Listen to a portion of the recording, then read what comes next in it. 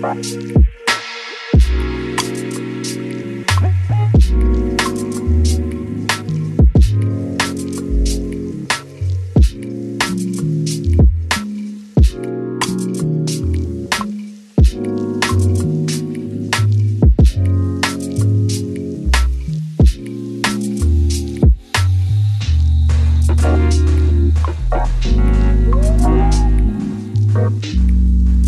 in the middle of cooking dinner and I forgot an ingredient, so I gotta go buy it.